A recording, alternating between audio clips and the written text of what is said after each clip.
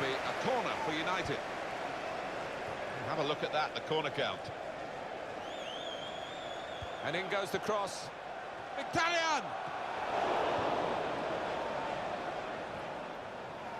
And headed. And here's the shot.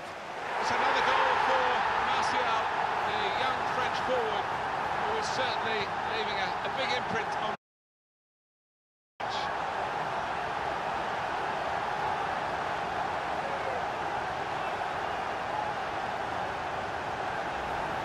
times for the man in goal. Yeah, and that's the nature of the business, isn't it, between the sticks. If you make a mistake, quite often it ends up with a goal.